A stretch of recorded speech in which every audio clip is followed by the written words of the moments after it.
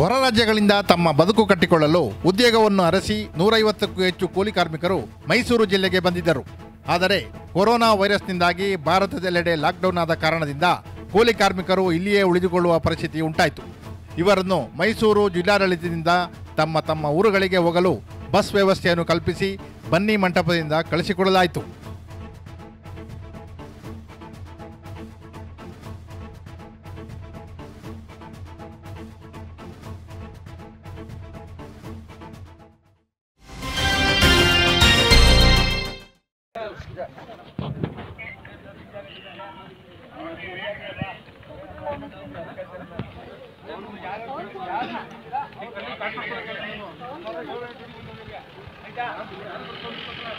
Manoj Kumar. Manoj Kumar Ajay Mishra. Okay Vijayanagar Mishra Pawan Pawan. Ajay Mishra.